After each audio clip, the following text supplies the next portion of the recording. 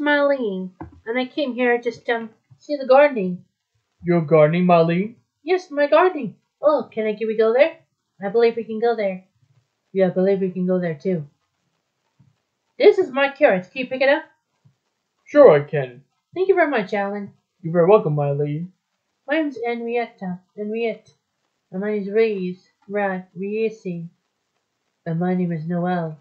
Good for you guys. Anyway, we're just picking up some gardening. So my my carrots are getting stuck.